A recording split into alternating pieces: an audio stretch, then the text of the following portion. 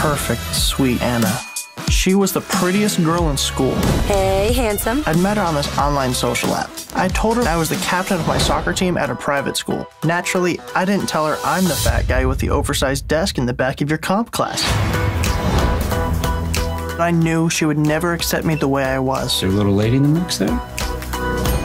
proud of you. When am I gonna hear you played in person? Mom, Baby, I just wanted to let you know that your dinner is ready. I hate it when she calls me baby, but it's better than what all the kids at school call me. Morning, Butter. Butter. Butter. His name's Butter. Eat it! A reckless idea began to take shape in my head. Ignore me now.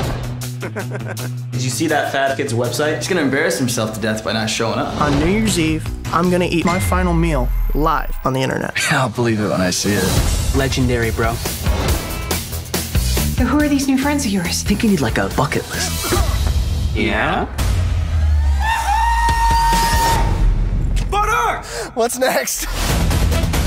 Kids at school stopped caring about my website ah! when everyone wanted to know how the fat kid cracked the cool crowd. Dude, I'm telling you, she likes you.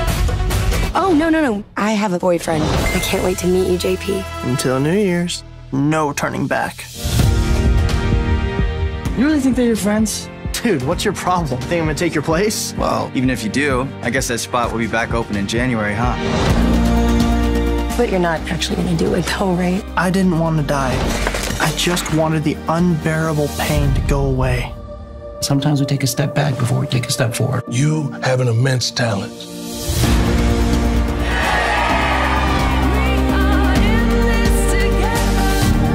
Want you to know that life can and will get better.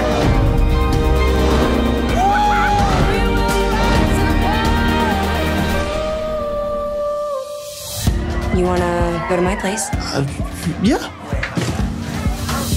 No, no one else saw that.